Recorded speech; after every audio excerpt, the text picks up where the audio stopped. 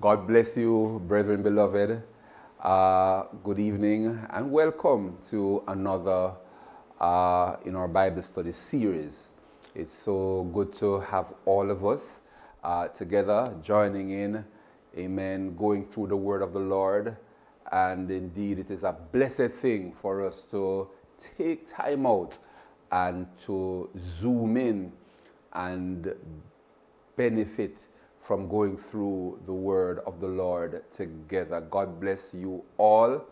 And we are going to get to work and delve right into Bible study. We are on the broad subject of the church. And when we met last week, we took the time to establish a particular foundation to show that the church was not an institution, was not a body that just came out of nowhere. It was not an afterthought.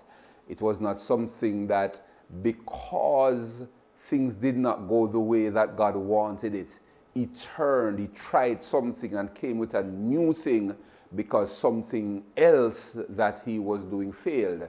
Absolutely not. The church was in the thought, in the mind of Almighty God from the very foundation of the world. And it is very important that we understand that concept. We were a part of a grand plan and design by Almighty God. And so, if we can get that picture uh, permanently, indelibly imprinted in our minds, we would start to appreciate some things about the church. It is not a body that is just any and anything. It is something deep, it is something well thought out, it is something strategically planned, it was a critical part of what God was doing to ultimately bring about a certain end that He had in mind for His people. And it is very important that we grasp that.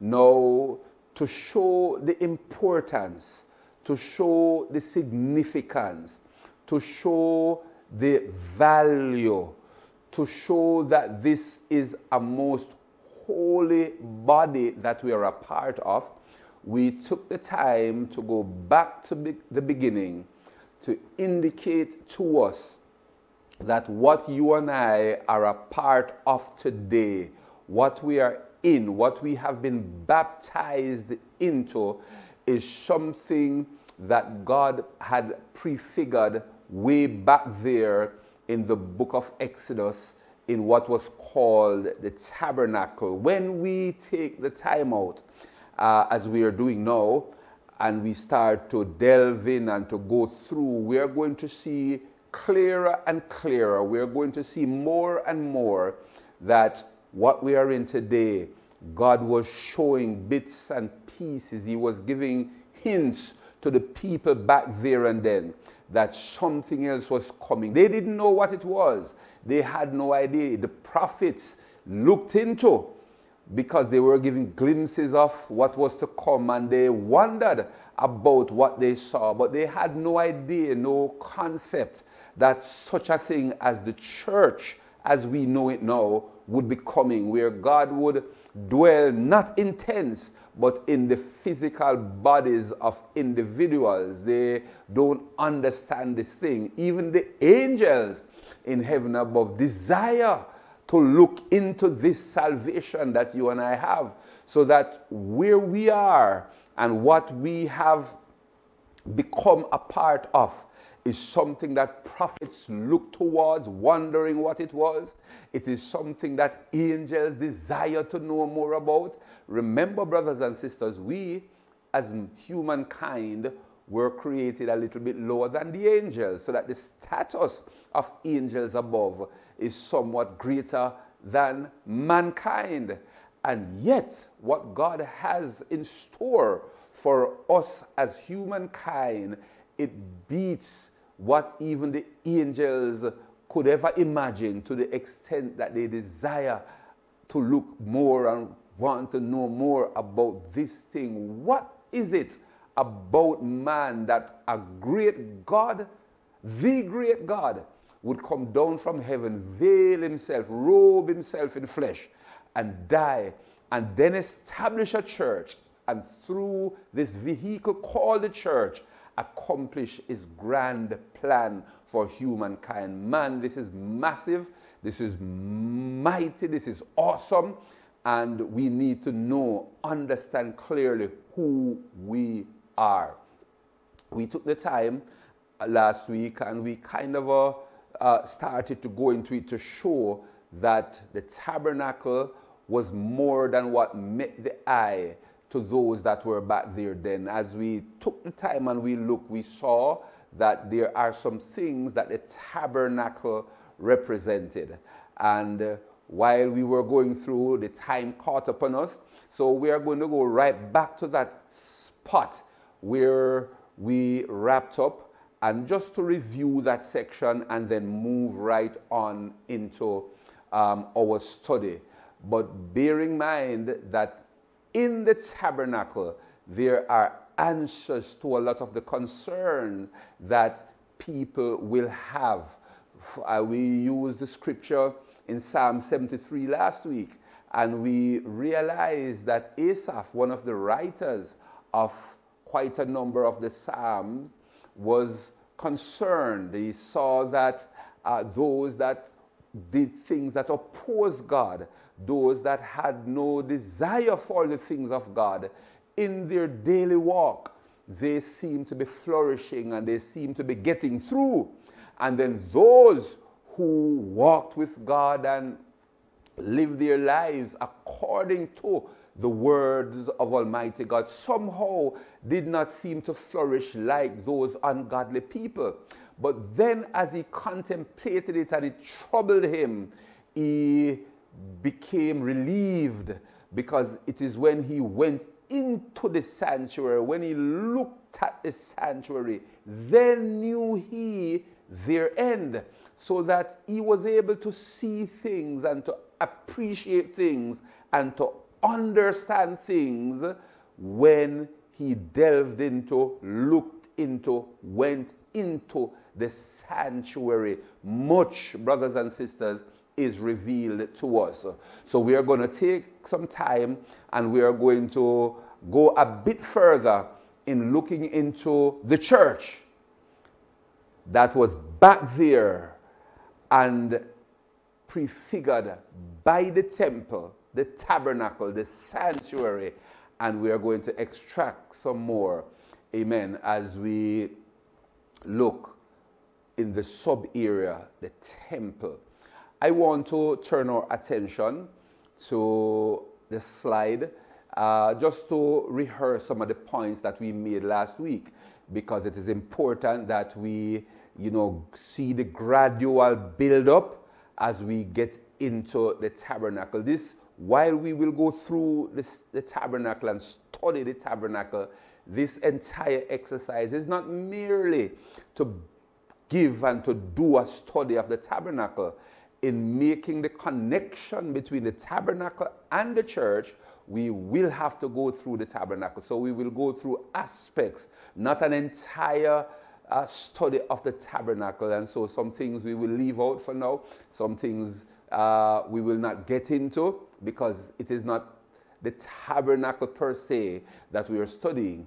But I want to make the point, I want to establish the link, brothers and sisters, that that tabernacle that first came through Moses in the wilderness has so much to teach us. Much to teach us in terms of discipline, much to teach us in terms of holiness, much to teach us in terms of consistency, much to teach us in terms of our general walk and disposition.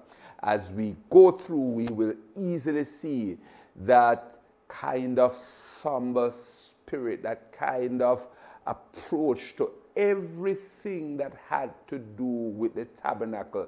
Different people carried out different functions. And because it was the tabernacle, every man took his particular function seriously. We will see it manifesting itself as we go. And if the tabernacle prefigured the church, if the tabernacle was a type of the church, then we can easily understand that if we are in the church, which is the tabernacle today, then the same kind of seriousness, the same kind of solemnness, the same kind of discipline, the same kind of consistency, the same kind of holiness of living is applicable, contrary to what a lot of people might be out there teaching folks that the church is a place where you just come, every man in his own culture, every man in his own order, every man doing his own thing. In contrast to that, it is a place of order. It follows a certain pattern. It is required, and even in the New Testament scripture, it speaks about it. Uh, to follow peace with all men and holiness. We find that the common thread goes through scriptures from old to new. The tabernacle that was movable in the wilderness to the permanent temple, right down today to the church of Jesus Christ, which is the tabernacle manifested in a totally different way. We will find that some things are common and it is important that we understand that concept. And so we said last week, and I reiterate now, we are really going to go into a study of the church, but we took it from ground zero so that we can understand that this thing came out of something that was already there. And what we are seeing today and the practices today is reflective of what was there years ago and so, having that understanding of what the church is and where everything is coming from, it will kind of guide our minds and focus our hearts so that we realize that this is a real deep thing that we are in. It is not just something to be a part of. It is more than a social gathering, a place where people come sing a song and then meet with their friends afterwards. This is not what the church is about. It is a deep thing. It is firstly spiritual. It then ministers to the whole man after that. But front and center and at the focal point and issue of what the church has to do and is concerned about is the salvation of the souls of men, and then having received that salvation, to walk as priests, as kings and priests in the sanctuary of the Lord. This church is a sanctuary, and we are priests, kings and priests. And so, as priests, we do what priests do. Of course, in a different way now, because it is a different testament, it is a different era but priests are still here. And the fundamental work of a priest does not change. And so, as we study the church, starting from this angle, then we are going to later on look at principles in the church and practices in the church, and we are going to study those. All of this coming under the theme for 2023 earnestly contend. So God bless you as we look to the slide right now and do a little bit of um, review and at the same time open up more in terms of some of the things that we had discussed and would have continued on today. Now, we know that the Hebrew sanctuary, based on Psalm 73, verse 3 and then verses 12 to 14 and then verse 17, we know that there's so much lessons to be learned from delving into the study of the sanctuary, right? We understand that. And I wanted to just rehearse into our ears the fact that there was about we would say three or four sanctuaries that looking from the beginning in Exodus when that first tent was set up by Moses all the way to the last sanctuary that was standing during the time of Herod the Great, when Jesus himself was walking on this earth, there would have been about three sanctuaries. Some say four, but the third and the fourth sanctuary essentially is the same one. It is just that um, King Herod moved to expand and, and, and, and beautify the sanctuary that had existed before. But let us take it from the top in terms of the sanctuaries that were there from God started this process. Now, God spoke to Moses and he told Moses, Look, I want you to go and I want you to build me a sanctuary. And God was very clear and very specific uh, to, in his discussion with Moses, and he told him, Go in, and I am going to give you the pattern. I'm going to give you Exodus 25 and verse 8 spoke to that. Exodus chapter 25 and verse 40 spoke to that. Um, I'm going to require of you to build me this sanctuary and let them make me a sanctuary that I may dwell among them. I want us to understand, brethren beloved, that it was always the intention of God to dwell among his people. It was his desire, it was his design that even though the heaven of heavens could not contain him, even though the heaven was his throne and the earth was his footstool, and he would therefore do his will on earth as he did in heaven, his ultimate aim and desire was that he wanted to dwell among his people. He first had a people that he picked out for himself coming through Abraham and then Isaac and then Jacob, and from Jacob the 12 tribes, and then all Israel spreading out from there. And God wanted to dwell among them literally, physically. And so he didn't want to just say, I will be your God afar off, and when you need me, call on me up in the heavens. No, he wanted to dwell right in the midst of the people. And he was going to do that, and he would have done that through the tabernacle. And he told Moses, I want you to build me a tabernacle that I may dwell in. Now, verse 40 of Exodus 25 gives us a little bit more information because God is very specific and God, uh, you know, is putting his thing together and he's going to do what he said he's going to do. And he started to outline to Moses, and look that thou make them after their pattern which was showed thee in the mount. So God had called Moses up to the mountain and he showed him the design, the blueprint, the pattern of what the temple was going to be like. And we are going to find out, we are going to, as we go on in a little while, we are going to see that God, who knows all things, when He gave them that pattern, that design, He was reflecting some things. And many of us who don't know this evening will be amazed that from as far back there as Moses in the Exodus, as they were going through that wilderness, and God gave the instruction to build the tabernacle, we are going to find that God was showing us, giving us an idea that something was coming called the cross, something was coming called the church. And we will see right in the design, right in the blueprint, uh, an imagery of the cross of Calvary folks then would have seen the setup and it would have meant nothing to them then.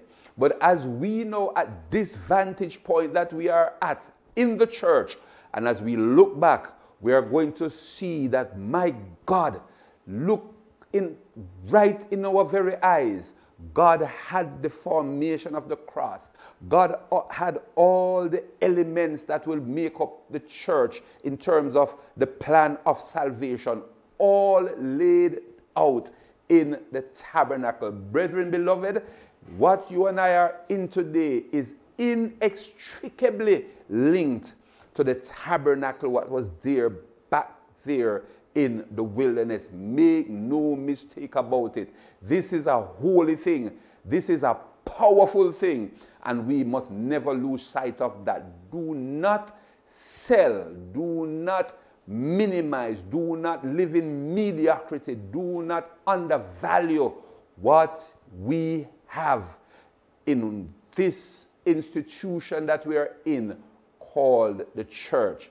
And then Exodus 36 right through to verse to chapter Exodus chapter 36 right through to chapter 39 gives us the whole construction period and what Moses was doing, and he was there putting everything together. As I told you, we are not going to go into details on a lot of things. Uh, at some other time, we can delve into other areas of the tabernacle, but we are going to be focusing on some critical areas to bring out some key points.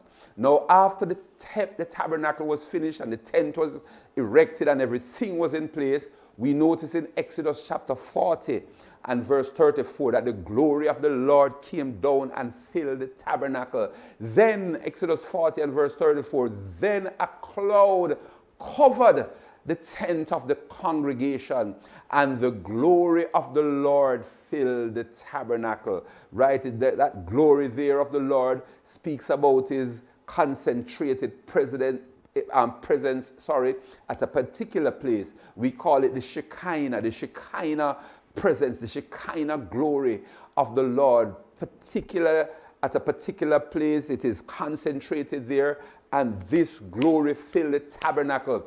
When the saints, when the children of Israel looked on, they saw this magnificent brilliance hovering over that tent and it moved to the inside and right over the mercy seat. You might not know exactly what that is just yet, but we are going to look at it.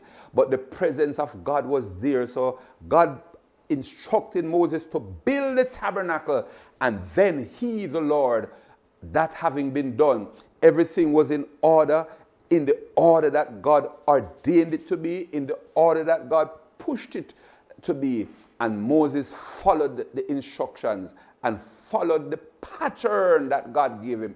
And God was pleased, and his glory filled the sanctuary. So the first sanctuary was that one that was built by Moses in the wilderness. Now, the second sanctuary was a more permanent structure, and it, it is called the Temple of Solomon. Of course, we know that it wasn't really Solomon's temple, it was the temple of the Lord. Solomon built it.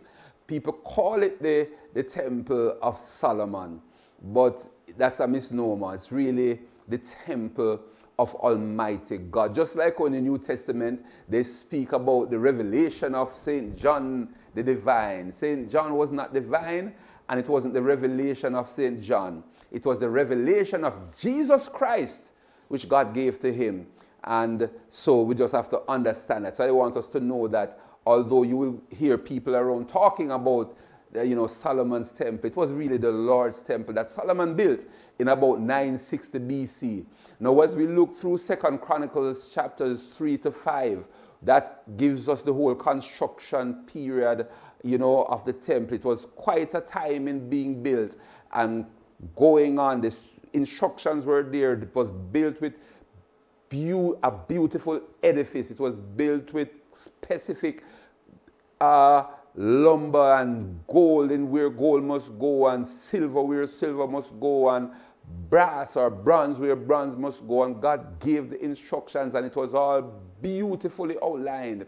But we notice as we go to Second Chronicles chapter uh, number six, um, we find that the same thing that happened. Uh, earlier, Second Chronicles chapter 6, we see the prayer of Solomon having built the tabernacle, having erected the structure. It was a magnificent structure, it was a beautiful edifice and design. And having put everything together, Solomon now started to pray. And Second Chronicles chapter 6 outlined this prayer where Solomon went to God and started to pour it out. And then now, that being done, we notice, and similar to what happened with the first sanctuary, Solomon having finished prayed and dedicating that second temple, this was now a more permanent edifice. The first one was um, tent and cloth, and it was movable, transportable. But notice now that this was a more permanent structure. And here we find Solomon in now having finished praying. We see the very same thing that happened with the first sanctuary happening with the second sanctuary. The glory of the Lord. Second Chronicles chapter 7. Second Chronicles chapter 7, verses 1 to 2. Now, when Solomon had made an end of praying, the fire came down from heaven and consumed the burnt offering and the sacrifices, and the glory of the Lord filled the house. And the priest could not enter into the house of the Lord because the glory of the Lord had filled the Lord's house. It happened again. And so we see that when God is doing his thing and setting up the sanctuary and is pleased with what is there, there is this situation where the glory of the Lord, the Shekinah, the presence of God concentrates itself in a particular way, and the glory filled the house. And that is exactly what happened there at the building of the second temple. Now, after this temple was built and time had elapsed, guess what happened? And it is important that we follow what is happening, saints of God. After all of this happened, I want us to realize that there started what was called, what we call apostasy, right? Apostasy. People started to drift. People started to somehow move away from the presence of Almighty God. It happens every time. It happened back there. And who would have imagined that having seen sights like those, where the Lord come down in a powerful and miraculous way. And not only was it known that God was in the place, but people could visibly um, recognize, see the glory of the Lord, a brilliant brightness hovering over the tent. And when the permanent structure went up, that brilliant glory cloud hovering over Solomon's temple. And of course, we are using the term that is normally used, but we know it's the temple of the Lord. That glory cloud hovering over the place, signaling and signifying that God was pleased with what was happening and God was in the temple, and therefore his desire to be among the people was now realized in the old the period under Moses, every time that the people moved from one place to another, they carried the tabernacle because it was at the center. I think I said it before, but just in case, and if you didn't catch it, let me just reiterate that point because it is very significant. At the time that Moses had erected that tabernacle, that sanctuary in the wilderness, when the people were on the move, they had to take down the tabernacle and they had to transport it with them. And then when they reached to the location, to the place that they were going, brothers and sisters, they stopped. And then they erected the tabernacle. And then the formation of the tribes was such that they encamped about, round about that tabernacle, so that the tabernacle was at the center of every tribe. So, for example, along the north, you had about three tribes. Along the south, you had another set of tribes. Along the east, you had a set of tribes. And along the west side, you had a set of tribes. And they all formed themselves in such a way that that tabernacle was at the mathematical center of the gathering of the 12 tribes of the people of God. It was at the center, very significant. It means that everything that they planned, everywhere that they went, whatever they sought to do, the tabernacle, the God that was with them, that was there in the tabernacle, he was at the center. If that is anything to go by, brothers and sisters, we need to learn and to understand he must be today in the church. He must be at the center of whatever it is that we are doing. The body that we have, and we're going to see it shortly, is a temple. And as individuals, we must have the Lord at the center of any and everything that we are doing. Very important point to catch. Don't miss it. And so, this is exactly what transpired there. But then, after a while, that transportable, that movable temple, and there's another point I want to raise before I leave from that and come back to the second temple, which is the temple that Solomon built. In that first temple, notice that God had people doing different tasks. It is in history recorded that to move from place to place, when they were moving from one location and they started their journey to the promised land and they went to another location, in dismantling that tabernacle, there were about 8,000 individuals involved. It was the tribe of Levi that was tasked to deal with the sanctuary matters. And then within the tribe of Levi, there was a subgroup, a family called Kohath, and their descendants were the Kohathites. And they were the ones that was charged with dealing with the tabernacle and the tabernacle material and carrying the tabernacle. You will recall when the tabernacle had moved to a particular place and then they had taken out the Ark of the Covenant and was going, re- carrying it back, I believe, into Jerusalem. And they were rejoicing because they had now gotten back the Ark of the Covenant which the Philistines had taken away. And on the way back to Jerusalem, amen, with this with that tabernacle, with that, sorry, that Ark of the Covenant, the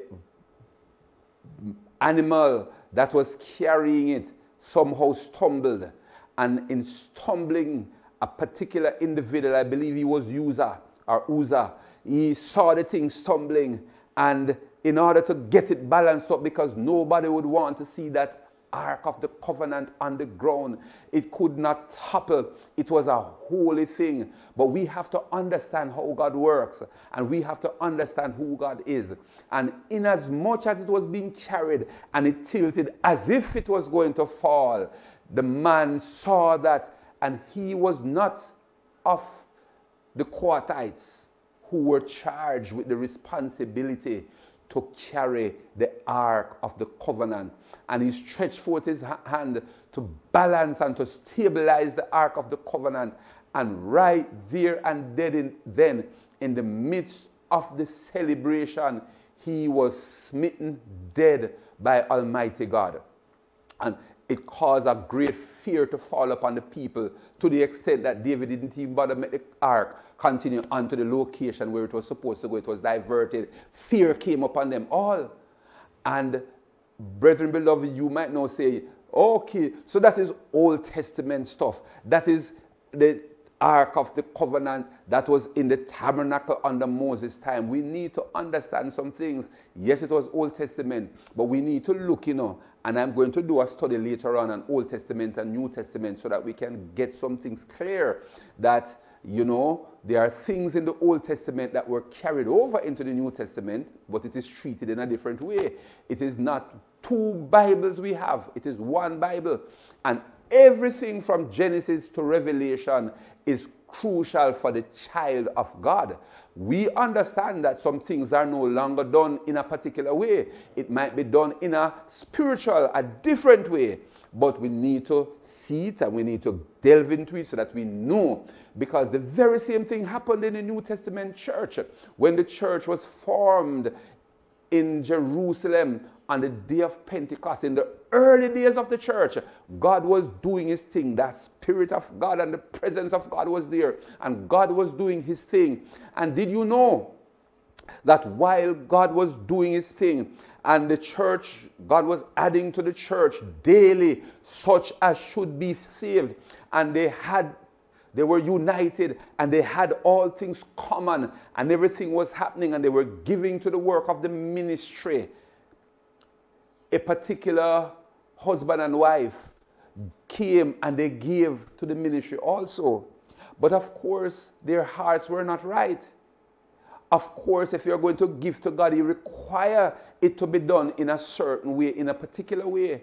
And they deceived the Holy Ghost. They did what was not right in the church, in the tabernacle called the church. And we're going to show that this church uh, is represented in the tabernacle. And right there in the early church, they did something just like Uzzah. He knew he had the information. He's not supposed to even touch it. He's not of the Kohathites. But nevertheless, he saw something and stepped out outside of his bounds and balanced the Ark of the Covenant and instantly he was struck dead. I remember Ananias and Sapphira, and right in the church, in the heat of everything that was happening, they stretched forth to do something that they had no reason, they had they just didn't even have to do it. Whatever their reasons were, whether they wanted to be seen in the gates, whether they wanted to be known as somebody of substance or whatever, I don't know. But they went in and man, the apostle puts them and said, Why did you lie to the Holy Ghost? And Ananias and Sapphira at the end of the day dropped dead. The same result that came about as a result of Uzzah when he tried to balance up the ark, and great fear came upon the people, including King David. The same thing happened in the church when somebody stepped out of bounds and boom, Ananias and Sapphira dropped dead. That was New Testament. That was church. That was tabernacle reflecting in the church. And they dropped dead there and then. I want us to understand, brothers and sisters. And so I just segued into, segued into that so that uh, we could have an understanding that, look here, these things, it might seem hard. Why God was so wicked in the Old Testament time? Well, Look at what happened to Ananias and Sapphira. Your mind said the same thing. God is wicked in the New Testament too. Brothers and sisters, I say this to us. We need to understand what we are in is not a plaything. It is not a dolly house. It is a real thing. Ananias and Sapphira were not in the Old Testament. They were in the church. And we need to not lose sight of that. All right. So, just to move on now, the first temple was there, the first sanctuary, Moses it was movable, portable. We finished with that. The second temple was more permanent. It was built by Solomon and the glory came down. Beautiful. But then, having seen all of that, apostasy set in. We can see the glory of God. We can see miracles. We can experience God we can see things happening and it means nothing after a while if we are not consistent, if we don't maintain a certain walk, if we don't maintain a certain lifestyle. The same folks that see the glory of God and experience the Shekinah of Almighty God will pull back, turn away, and cause God to remove himself. And so the apostasy set in. Folks who knew what God had done had turned away, and God sent, used Nebuchadnezzar to bring judgment upon his people. And so let us just look back at the PowerPoint, and we are going to see that um, the temple in 586 was destroyed by Nebuchadnezzar, and the people taken back to Babylon as captives, a free people who saw the glory of God allow sin to become rampant in their lives, allow things to go haywire, became apostate. And any time that happens, brothers and sisters, you understand it is going to be just a matter of time that something is going to come from God. Yes, instrumental in the background. God is going to orchestrate it, but He is going to deal with us because He does not tolerate sin. And while He will allow things to happen for a while, it is just time before God stepped in. And so the second, when Nebuchadnezzar came, he totally destroyed the first, that temple, sorry, the second temple, that's the temple that Solomon built. Now, of course, they were only going to be in captivity for about 70 years. And after uh, that 70 years had expired, they returned to the land of Israel from Babylon. And while they were there, of course, the work started again to rebuild, to build the third sanctuary. So the first one was with Moses, the second one was with Solomon, and now the third one was now here being built. And of course, Haggai chapter number 2, verses 69 speaks to it and, and, and compared this sanctuary to the sanctuary that Solomon had built. And oh, it was inferior to the one that was there.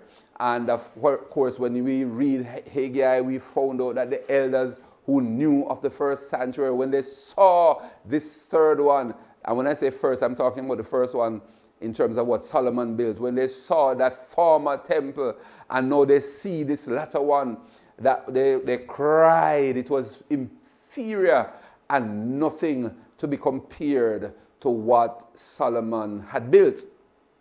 And so we somewhere we are easily picking up that God always wants a temple to be here. So he started out not in Genesis but in Exodus and coming all the way through, there was always a temple. So after the tenth, then Solomon's temple, then after the captivity, another temple was rebuilt, which would have been the third sanctuary, and God always seemed to want to have a sanctuary on earth so that he can be with his people.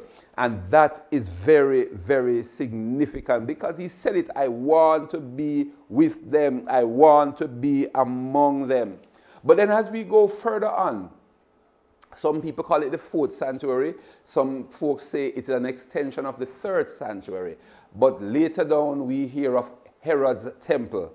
Herod's temple is none other than the temple, the third sanctuary that was left there. And Herod, when he came into power, he moved to remodel and to beautify and to enlarge that's Herod the Great that we read about in the New Testament, and to enlarge the third sanctuary that was there. So, the temple that Jesus Christ walked in, the temple that we are reading about in the book of Matthew, Mark, Luke, John, which any of those gospels, we realize that it is called Herod's temple. But it is the same third sanctuary that was built, the one that was inferior to Solomon's temple. And Herod now moved, and it took Herod 46 years. In fact, I want us to turn to St. John chapter 2 and verse 20.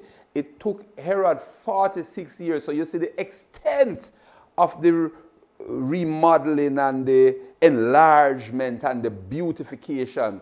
It took Herod about 46 years. Uh, in John 2 and verse 20, it says this Then, G- then said the Jews, Forty and six years was this temple in building, and will thou rear it up in three days? Of course, we know the background to this that Jesus told them, Destroy this temple, and in three days I will raise it up. At the time, they did not know Jesus was talking about the temple of his body. They thought he was talking about this magnificent temple that Herod the Great had just set up on over many, many years. But the point I'm making is that that magnificent temple that was now there that Jesus walked through and we are reading about in the Gospels took them 40 and 6 years to, it took them that length of time to build it.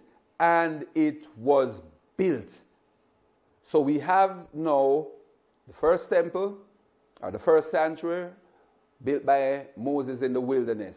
Then the second one, which was more permanent, Solomon did that. God is always pushing to have a temple. And after that, Solomon's temple was destroyed, a third sanctuary was built. And then after a while, that one was expanded by Herod the Great. Some people therefore call it the fourth, but it's just an extension of the third. But God always has a temple. Why? Why is it that he somehow seems to constantly be pushing for a temple to be about us? What are some of the things that the tabernacle or the tent represents? I asked that question. What did they symbolize? It must be significant. The fact that God is just always somehow propping the people of Israel to build and to have a temple. And although in this last one, his no Shekinah, notice no Shekinah came down in this one. You, you, you, there can be a temple and there be no Shekinah glory. There can be a temple and there be no presence of God. Inasmuch as God wants to be among his people, and from the beginning, whenever the temple came, the Shekinah came down. But here was a point when the temple was there, but there was no Shekinah glory, even though God said the latter temple shall be more glorious than the former temple. But here the latter temple was, and there was no glory there. But we will treat with that at another time. So I'm asking the question again Are there things that these temple represent? My answer is yes. What did they symbolize? What can we learn from them? And so I want us to take time. I want us to take time and we are going to go through, we are going to go through and see exactly some of the things that the temple symbolize, that the temple represent. Now, brethren beloved,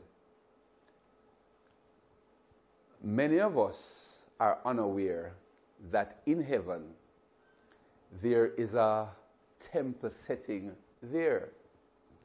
Many of us are unaware that in heaven there is a form of worship. We do know that there are angels there that their only task is to bow before the Lord day and night and do nothing else but cry holy to the Lord.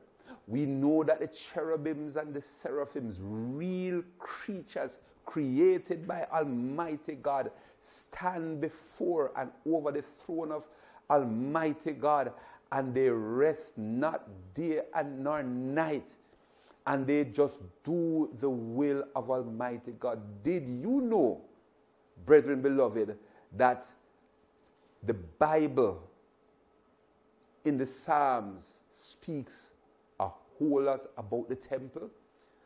Are you aware, brethren beloved, that if we are going to go through the book of Daniel and appreciate a lot of the things, a lot of temple, tabernacle language is written therein. Brethren, beloved, if we are going through the book of Hebrews, we see a lot of tabernacle language there. In fact, in the book of Revelation, and I'm just mentioning this because we're coming back to it. In the book of Revelation, it talks of language, tabernacle language, fill the book. The high priest, a lamb as it had been slain, the seven candlesticks, the altar of incense, all spoken about in the book of Revelation. Then are these things, because Revelation at this particular point now was talking about what John saw up there.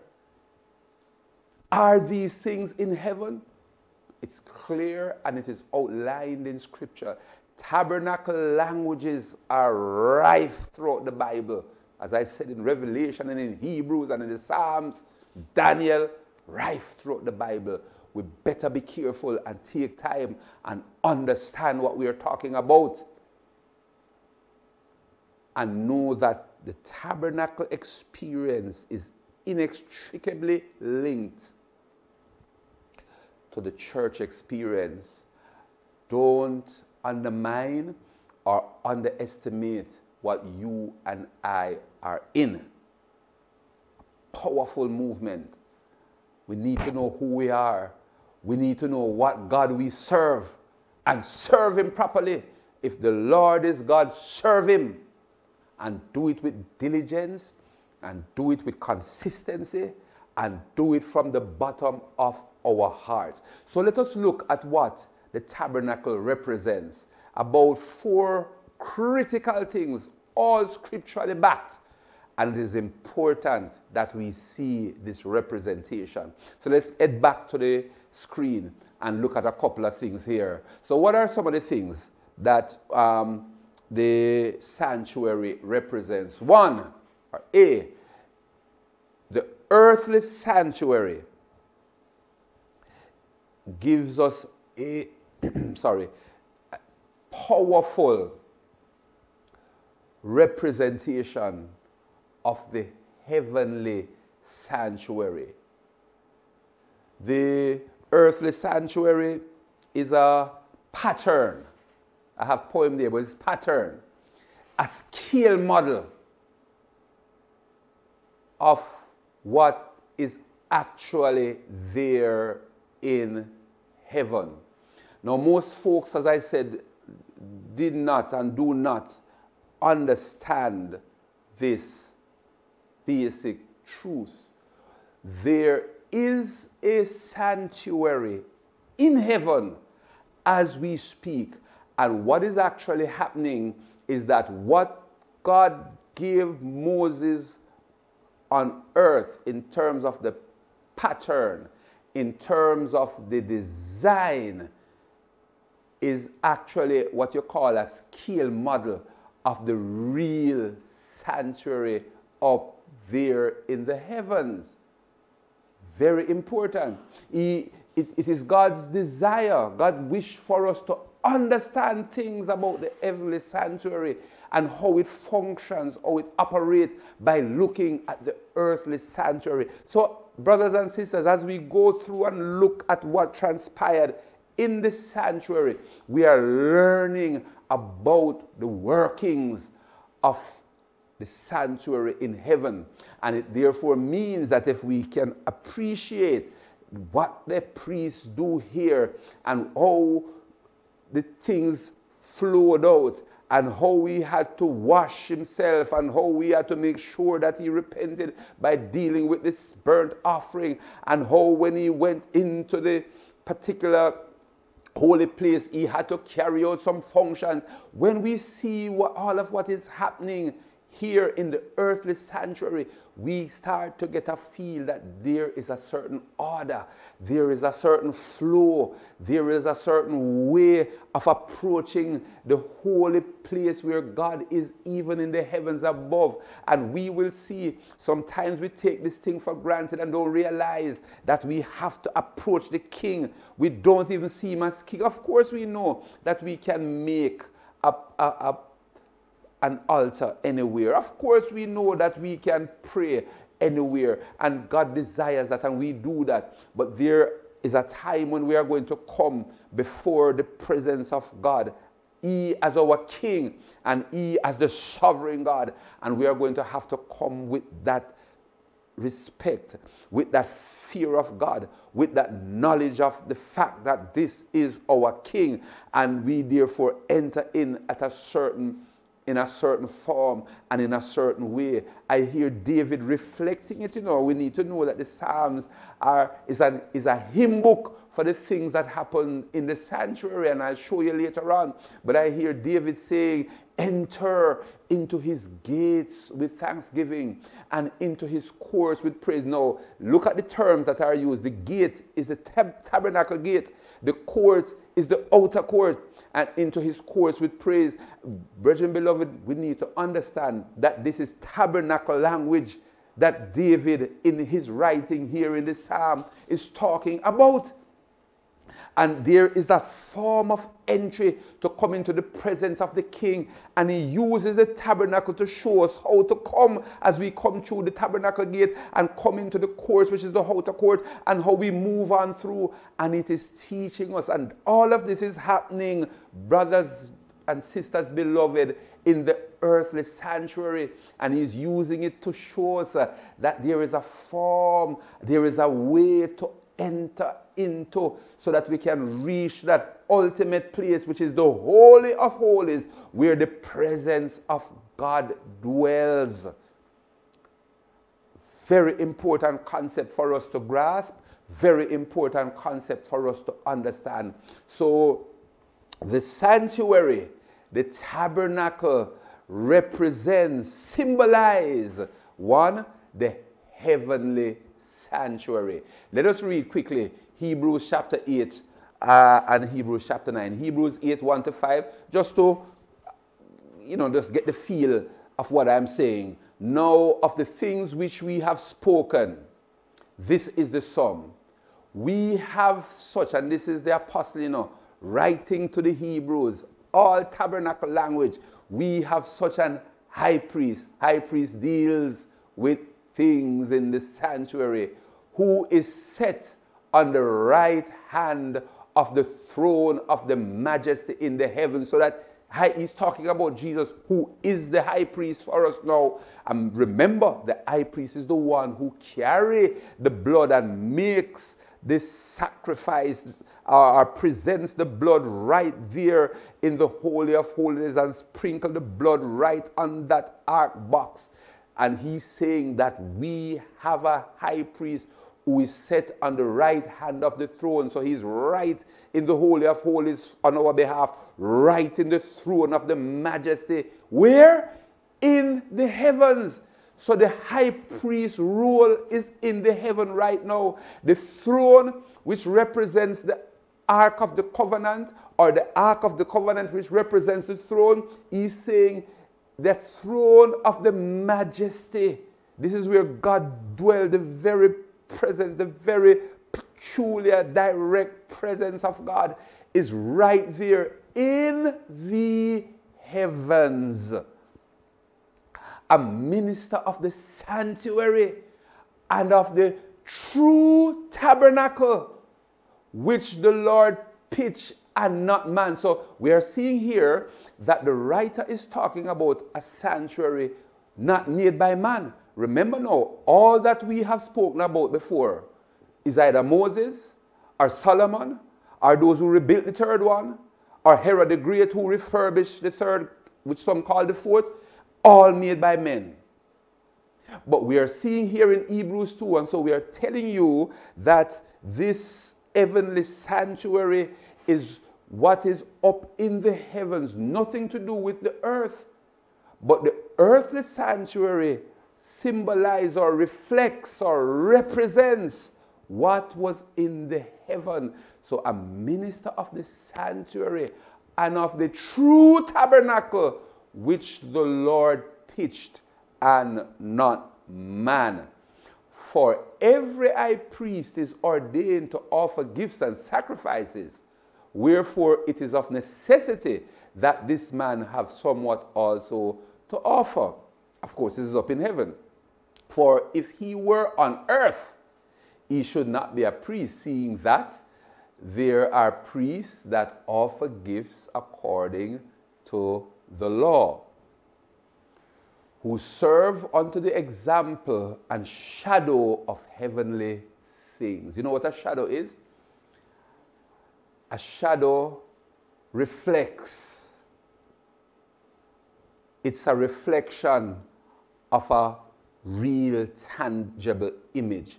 If we have the building that I am in right now, and it is daytime and the sun is on the outside, if the sun is at a particular uh, angle and shines the lights on this building, if we go over to the other side, we see a large shadow of the building. The shadow is not the real thing, but the shadow let us know that there is a real building behind it. And so I want us to understand that what we are seeing on earth in terms of the tabernacle, what Moses or Solomon or Herod, any of them built, what we are seeing is really a shadow. It is really reflecting, representing the real tabernacle, which is in heaven.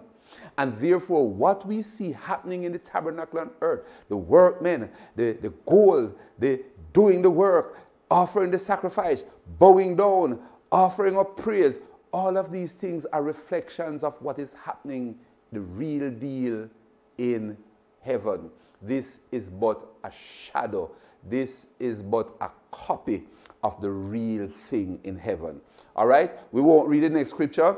I'll just have us to read that later on, but let us go to the next point. So take your time and you're going to go through and you're going to read Hebrew chapter 9, verses 11 and 12. But the point we are making is that the earthly sanctuary, tabernacle, is a representation of the heavenly sanctuary. Secondly, it signifies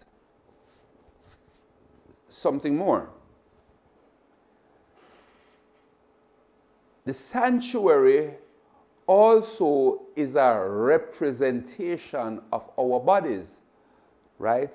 Our, what we would call temple body. It is an illustration of our body temple. It illustrates our body temple and shows what He expects of us. The fact that we as individuals are temples. I want us to turn, and I'll just run through this quickly to 1 Corinthians.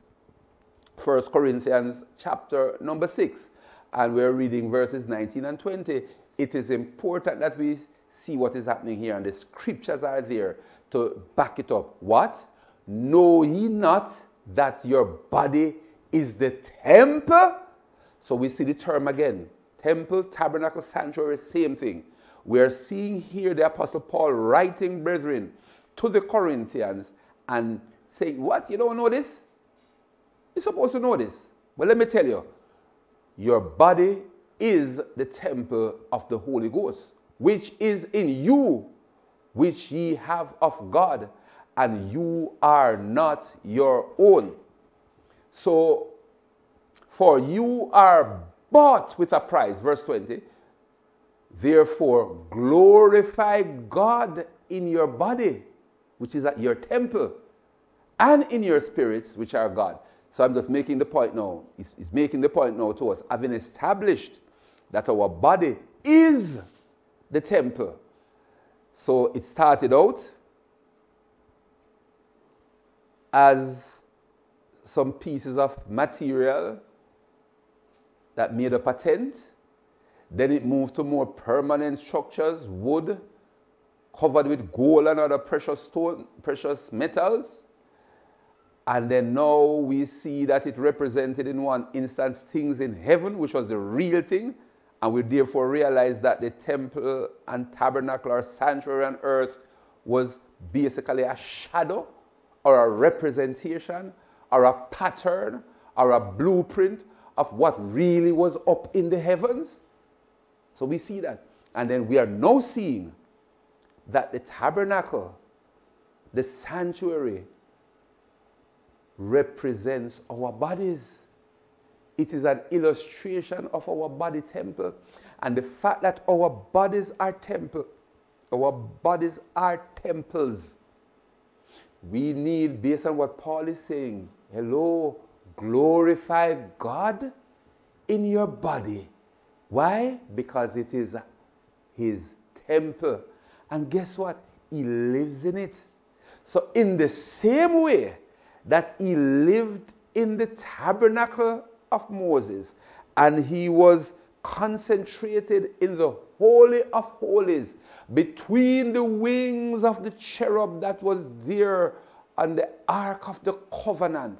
And when they moved that box and moved that temple and they went from place to place, God moved and went with them. Brothers and sisters, this body that you and I have is the temple of God today. And the Shekinah presence, which is the Holy Ghost, is in the Holy of Holies. Never forget that. Therefore, as priests, we must be very careful how we treat the temple. Back there, they couldn't do certain things in the temple, in the tabernacle. Back there, the tabernacle was a holy place because the presence of God was there. And they were careful that, the, the, as we go through, we're going to see some things, you know. They could not allow the light in the tabernacle to, to, to go out. They could not allow the showbread to go stale. They could not allow for the table where the incense was offered, that altar of incense, to go without incense going on it and the smoke from that incense going up as a sweet smelling savor in the nose and the nostrils of Almighty God. They could not allow that to go undone. So that you just look at what happened in the tabernacle and we see that it was constant service, constant work by the, the priests who you and I are. Don't you know that you're priests, you're kings and priests in this place called the church and in this body temple that we have, that we have just read about in First Corinthians, we have to know that the Holy Ghost representing that Shekinah is in us. And it is at a place that if we are going to walk and if we are going to move, God is walking with us and God is moving with us. And we had better take care of this temple if we desire for God to remain. Remember that third temple, it did not have the Shekinah glory that was there in the temple of or the tabernacle of Moses. It did not have the Shekinah glory, the Shekinah presence as was there in the tabernacle of Solomon, the temple of Solomon. The Shekinah will leave, the Shekinah will depart. Look at how they treated the tabernacle back there, and it will be a lesson to us as to how to treat the temple of our bodies.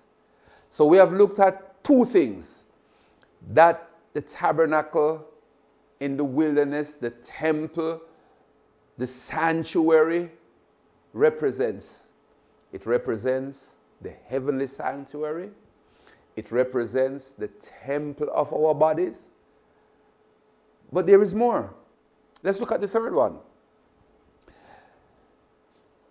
The sanctuary also represent and give lessons about the body temple of Jesus Christ. So we have the body temple, our own body temple, we as individuals, but we learn that it represents the body temple of Jesus Christ. Let us look at St. John chapter 2, verses 19 to 21. St. John chapter 2, verses 19 to 21. Let us see if we can bring it up on the screen because I really want us to read it together. Jesus answered and said unto them, Destroy this temple, and in three days I will raise it up.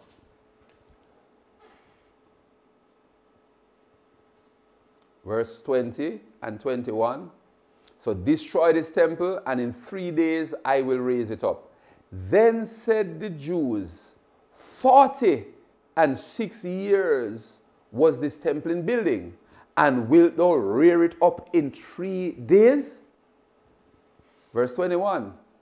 But he spake of the temple of his body. So, brothers and sisters, the tabernacle represents and gives us an indication, a representation. It shows and reflects the body temple of Jesus Christ. So we are seeing some things here. And if, if our bodies is a representation of the temple, the body of the Lord, Jesus, is a representation of the temple. And we know what is supposed to happen in the temple, then we are being shown what is expected of us in this temple. And we are seeing Jesus himself, his body was a temple. And we easily can see what transpired in the life of Jesus and what was achieved in his body temple. Important lessons for us, brethren, beloved. Now, fourthly, the temple in the, the tabernacle or the sanctuary back there speaks to and represents the church of Jesus Christ. And I really wanted to come here because this is where we are. We are in the church, that mystical body, that body of called out believers that is here in the 21st century. Upon this rock, I will build my church, and the gates of hell shall not prevail against it. We are here, brothers and sisters, and the tabernacle, the sanctuary that we would have heard about, and all that transpired there is reflective of the church of Jesus Christ. I want us to turn to Ephesians um, chapter 2, verses 19 um, down. Just a two or so verses. Know therefore, beloved, know therefore, ye are no more strangers and foreigners, but fellow citizens with the saints and of the household of God, and are built upon the foundation of the apostles and the prophets, Jesus Christ Himself being the chief cornerstone, in whom all the building fitly framed together groweth unto an holy temple, brothers and sisters, in the Lord. It's talking about a building now, you know, and this is the building, the temple being built. But guess what? It is not buildings of stones or wood covered with gold. No, it's not a building like what was there with Moses, which was a tent. It is a building that is being made up of people in whom all the building fitly framed together groweth unto an holy temple in the Lord, in whom you also are built together for a habitation of God. Hallelujah. Through the Spirit. What this is saying is that this building is going up right now. It is a holy temple. However, it is not made with stones and wood and anything like that. It is made up of people. In other words, the temple of God today still exists, but it is in the church of Jesus Christ. And all of the wood that was covered in gold and all of the disc that was there that had all of the things was pretty much there or is pretty much there or here today in the person of you and I. The church is the temple. So it is not a disconnected thing. It is not that the church is here. And this is why we have to be very keen and clear and why I have a responsibility to let us know that the church is not a Dalios plating. It is not a social club. It is not a place where people come sit down to just get reprieve from certain things and talk about just things that are happening to them. Of course, it is holistic in its offering. But first and foremost, and front and center, and fundamentally, the church is the temple of the living God, and it speaks to the Holy Ghost being in here, which represents the Shekinah presence of God. This is the temple today. And if we just take the time out to recognize that God always wants to be, that was his mantra. I want, he promised it to Abraham. And follow this now. Follow this. He said to Abraham, I want to be with you always. And then he made that promise to Isaac. And he made that promise to Jacob. And even though there was not a standing sanctuary at that time, you know what the patriarchs used to do? In, in, in, in trying to have God be with them without the sanctuary being in force and in place as yet. They either made a sacrifice or they used stone and built an altar. And that represented something between them and God and God coming down. You, you remember when Abraham met the angels and he realized that it was actually God that he was dealing with? And before you know it, he did what he had to do and he go get some stone and he set up an altar and he built an altar there. And then a similar thing happened to Isaac as he was traveling and he stopped at a particular place. And when he found that water was there and God was with him, two tools, he ran and he got some stone and he built an altar. And it signaled a relationship with God and man, God being right there with them. And the same thing also happened to Jacob. Jacob was on his way journeying to a particular place and he had to stop because night caught him and he got a stone and used it for his pillow. And then while there he was sleeping and he started to dream. And he dreamt that he saw a ladder from earth to heaven. And in the dream he saw angels running up and down on the ladder. And when he woke the morning he said look God is in this place and I knew it not God was right there with him. And you know what the first thing he did, just like all the patriarchs did, because there were no temple around. He took some stone, the very stone that he had as his pillow, he put it down and he got some stone and he anointed it with oil and he built an altar and he called the name of that place Bethel, the house of God. There was no sanctuary, there was no tabernacle. God did not come down yet, but that sacrifice, that altar, until the tabernacle came, which was the house of God, he had something there that he knew that the presence, and all the patriarchs knew that the presence of God dwelt here. But outside of that, the tabernacle came, and from Exodus all the way to today, a tabernacle was always here.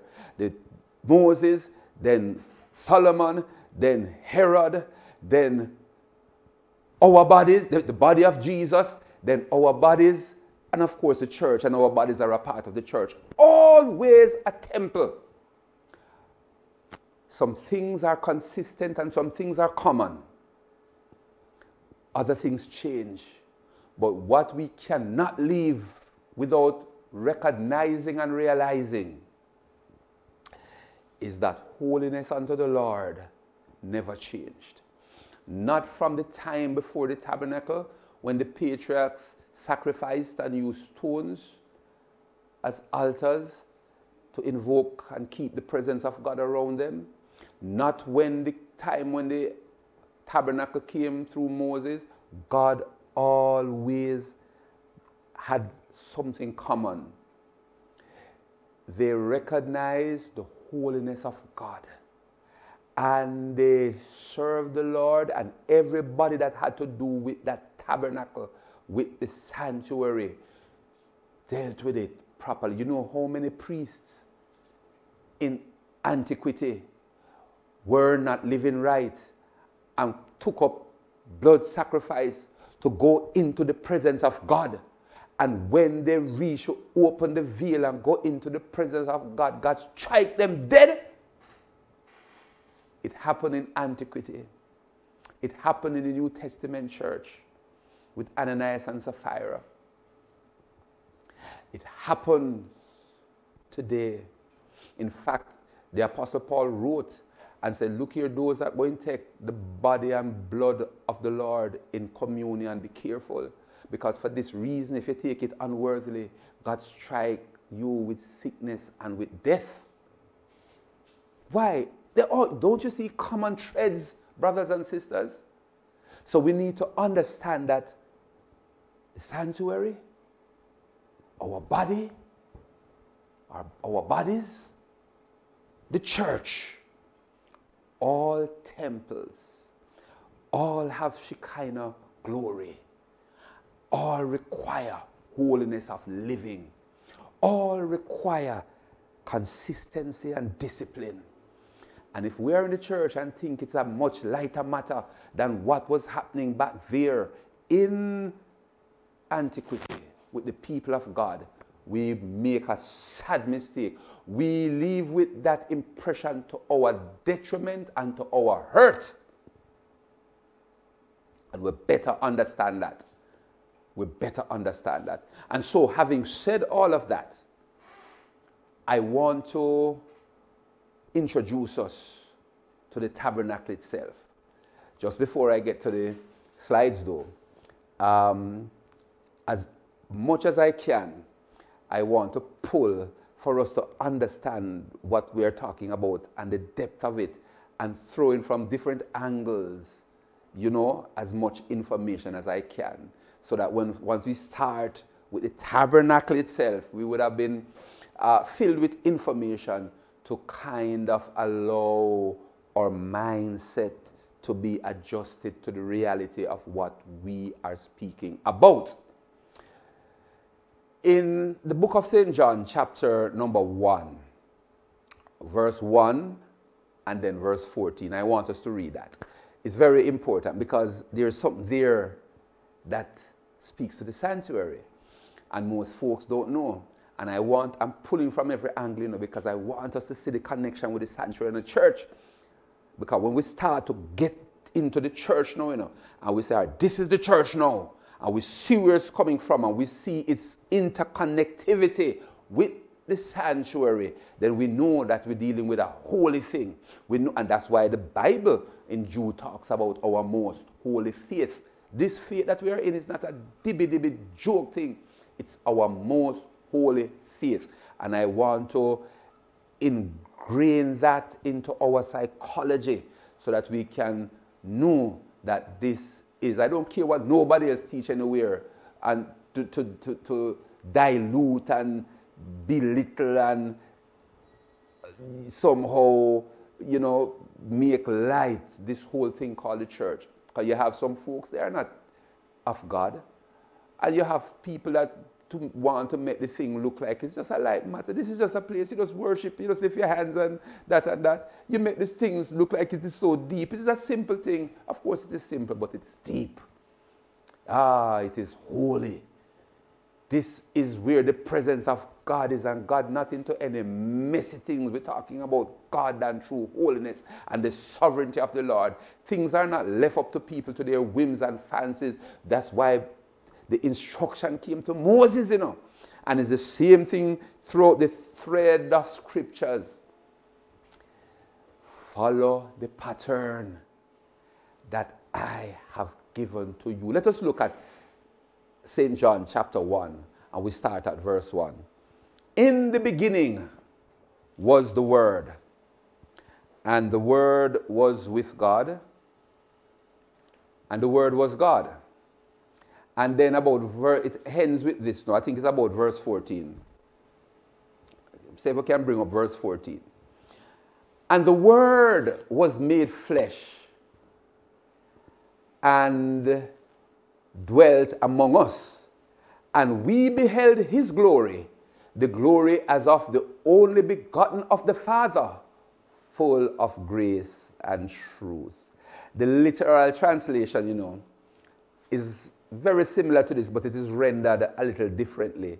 It's, it's essentially saying the same thing, but given what we have been speaking about, let me read it from a different translation, which is more in keeping with the original form. It says, where we have here, and the Word became flesh and dwelt among us. The literal translation is rendered, and the Word became flesh, and he pitched his tent among us. That's what the literal translation said, you know. So although it is saying the same thing essentially, I want us to understand that it literally used the word he pitched his tent among us. And in another translation, which is very similar, which is again closer home, it says the word became flesh and he tabernacled among us. Brothers and sisters, when Jesus came, he came. The whole thing has connection to the tent or the tabernacle or the sanctuary. The word became flesh and tabernacled or tented among us. So he knew, and we can see this and understand that his body was the body temple. It was a sanctuary. And therefore, the things connected to the sanctuary was going to be fulfilled in him. And it is the same sanctuary that we are talking about. I want us to understand that. Did you know? And I, and I want us to turn to Psalm, and I'm just giving you a few scriptures, and I want us to just see, I'm just pouring them out so that we can see them, so that we can understand that we can get it clear that this tabernacle thing, this church thing, there is a nexus. There is a, a connection. And I want, by going through all of these things, we see that connection and we grasp that connection and we understand that connection. Very, very, very important. So, Psalm 46. And I'll just do a few verses, but I'm just trying to make that point. Psalm 46. And we will read a few verses there. God is our refuge and strength, a very present help in trouble. Therefore, will not we fear, though the earth be removed, and though the mountains be carried into the midst of the sea. I think this is David writing, into the midst of the sea, right? Though the waters thereof roar and be troubled, though the mountains shake with the swelling thereof. And then it goes on, there is a river, the streams whereof shall make glad the city of God, the holy place of the tabernacles of the Most High. Go on the holy place of the tabernacles of the Most God is in the midst of her. Coming back, you know, we talked about this earlier. She shall not be moved. God shall help her. And that right early. So hold on, don't, don't go to, let me just put some context to this now. I wonder if we understand that David is, first of all, when it speaks of the midst of the sea, when it speaks of the midst of the sea, seas here is talking about troubles and nations and trouble coming upon Israel, the people of God. And when we look at mountains, it look, they're talking about calamities and calamities coming and falling on us. And generally speaking, when the Bible talks about the ocean and its boisterous movement, it is speaking about calamities coming. So that David talking about the mountain shaking and the seas moving with its boisterousness and all of that, he is presenting to us a situation of trouble and conflict and all kind of things coming upon the people of God. But then in Jewish history, when it speaks about a river, in contrast to the ocean, the river speaks about calmness and peace and tranquility. So the script, the psalm, what David just wrote here now, he's looking at a situation and he's using these um, different things and poetry to describe wicked, calamitous events coming upon the people.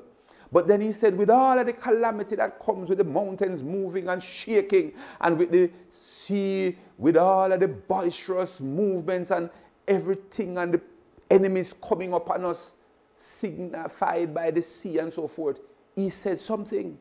He said, God is in the midst of her. I want us to go back to the scripture, bring up the scripture, um, producer, and let us go again. God is in the midst of her. She shall not be moved. God shall help her.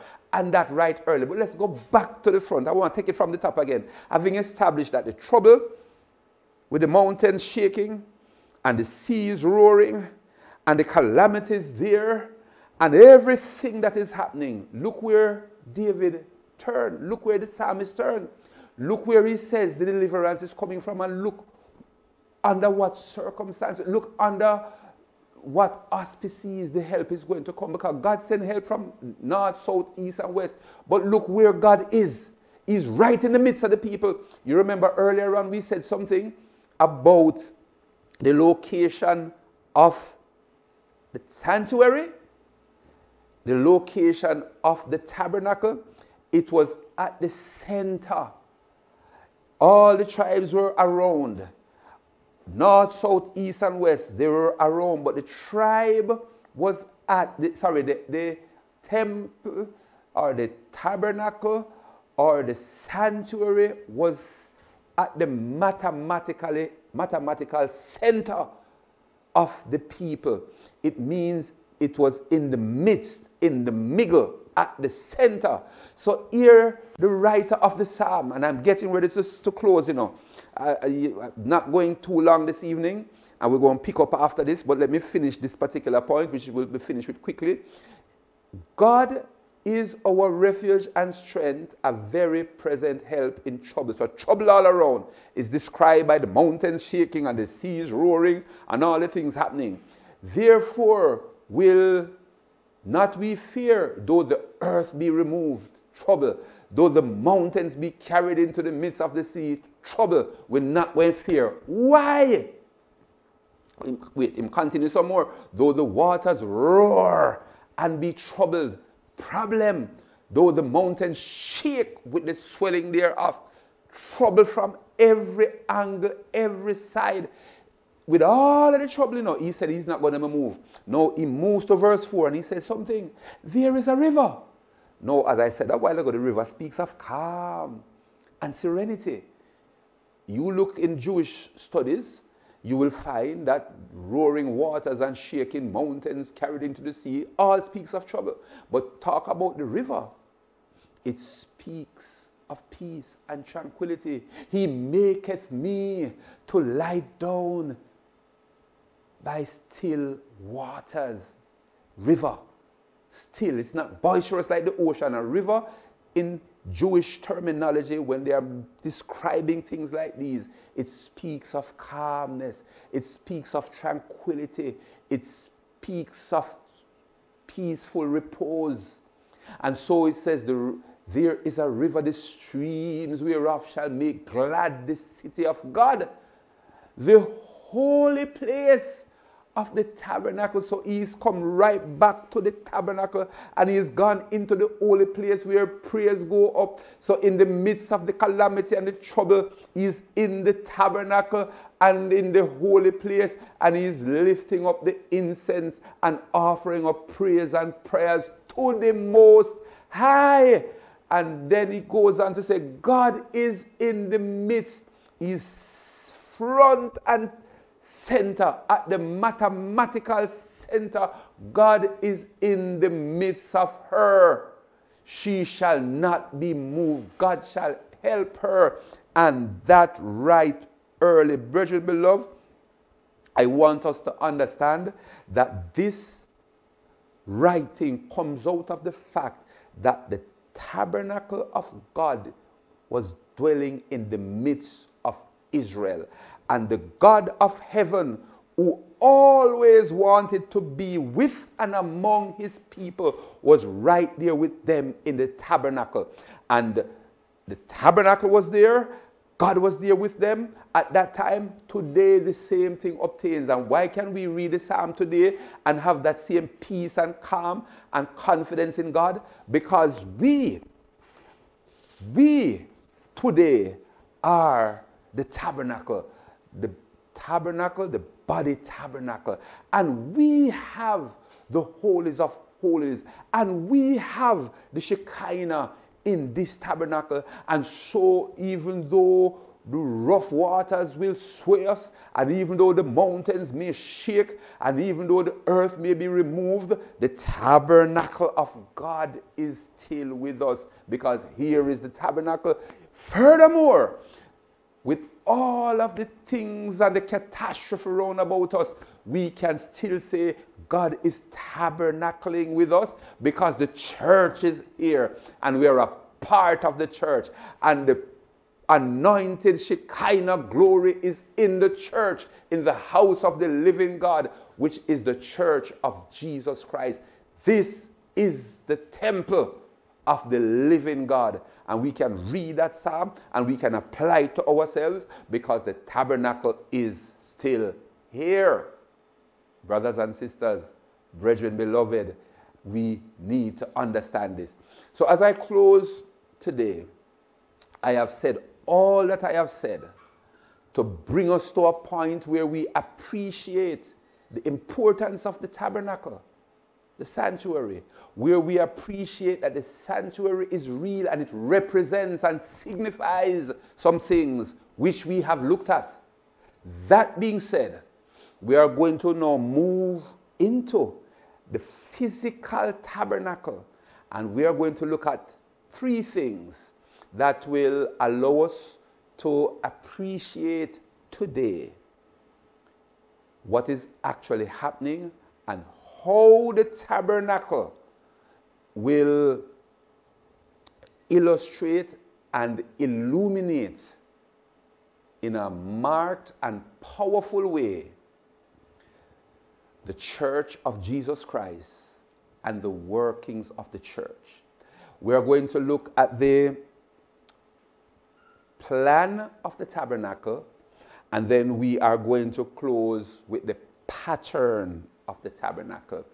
And we are going to see based on the plan and the pattern, because we have already looked at the purpose of the tabernacle, but we are going to look at the plan and we are going to look at the pattern, and we are going to see everything coming together. That the pattern has everything to do with what is happening in the church today. The plan of salvation is in the tabernacle. Repentance is in the tabernacle. Baptism is in the tabernacle. The Holy Ghost is in the tabernacle.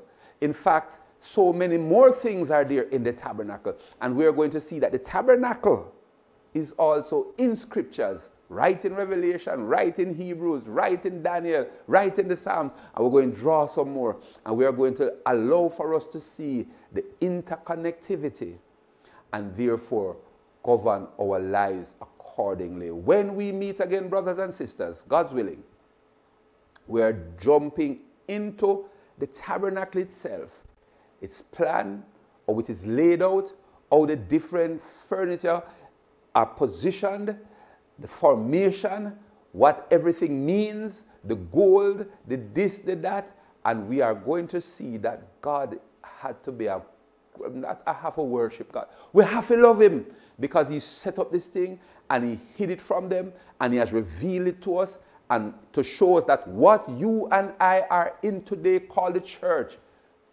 it is coming straight out of the heart of God. It means everything to Him. And we better fall in line, walk with God, walk good, and allow what is being taught from the tabernacle to attach itself to us so we can appreciate what we have in the church of Jesus Christ. When we get all of this together, then we are going to transition now in the church, which is the tabernacle today, and look at all the different facets. We're going to look at within the church at subject areas that goes far and wide. And for the next 12 months, we are going to be going through some things that going to keep our minds fixed and focused. And we're going to either take it or leave it. Leave it to your detriment. But God is a good God. God bless you. Thank you for being in Bible study this evening. When we pick up next week, we are going in the tabernacle itself. As I said, the plan, the layout, everything.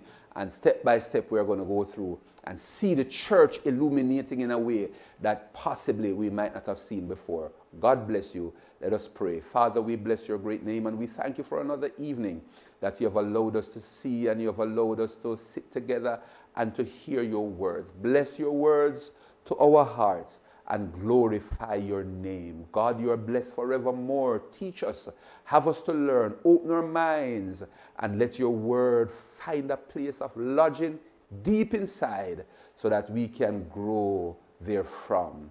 Bless your name, Lord. We magnify you, we glorify you, we give you thanks and praise. In Jesus' name, amen and amen. Praise God. God bless you. Thank you for joining in. And as I said, we pick up God's willing next week, same time, as we continue in our Bible study series on the church. And the sub area for the moment is the tabernacle and how it relates to the church of Jesus Christ. God bless you. See you next week, God's willing, in Jesus' name. Amen.